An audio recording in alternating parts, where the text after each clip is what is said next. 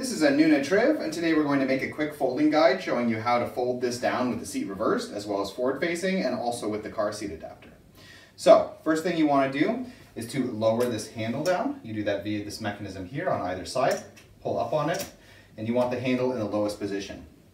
Unlike a lot of other strollers, you do not want to lock the front wheels because the front wheels will then come into contact with the handle and will prevent the standing fold from being as tight as it otherwise would be.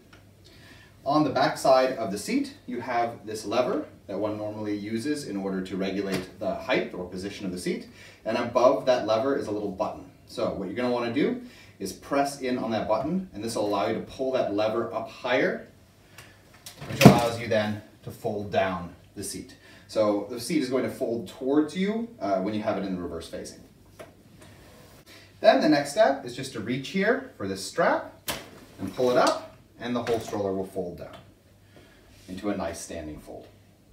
If you want to unfold it, you just grab a hold of the handle arms and you lift it up and it won't actually lock into place until you've also flipped up the seat and that's going to reactivate those folding mechanisms on either side to lock. With the seat forward facing, the system is essentially the same. It's just that the seat is going to fold forwards instead of backwards. So I'm going to put that handle in the lowest position, push in that button, pull on that lever, and allow it to fall forwards in this case. And then pull up on that strap and it'll fold down as such. Again, folding it up, it won't lock into place until you also pull that seat unit up into place. Okay, last is going to be the car seat adapter. Before that, we're going to remove the seat unit. So there are two silver buttons right here. And you just press in on either side, and that allows you to then take off the seat unit. All right, so then uh, this comes with this ring adapter, and this ring adapter is uh, only for Nuna seats. Uh, if you live outside of the US, then you have access to the bassinet adapters, which can be used with Maxi-Cosi and Cybex.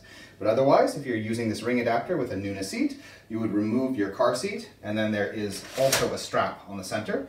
Pull it up once, and it's going to cause that adapter to fold. One more time, and it will fold down the full chassis. And then fold it up again, lift up on the chassis, pull up on one side of that ring adapter, and it'll click into place. Uh, this stroller is not essentially set up to fold down very easily without the seat or the adapter on it, but it's not that hard in case for some reason you need to. It's just a matter of pressing in on these buttons, and that would allow it to fold just as the chassis.